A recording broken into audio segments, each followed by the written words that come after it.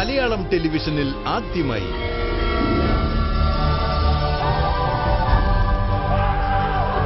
കന്നിയാത്രയിൽ തന്നെ മഞ്ഞുമലയിലിടിച്ച് അറ്റ്ലാന്റിക് സമുദ്രത്തിന്റെ ആഴങ്ങളിൽ മറിഞ്ഞ ടൈറ്റാനിക് എന്ന ആഡംബര കപ്പലിന്റെ കഥ.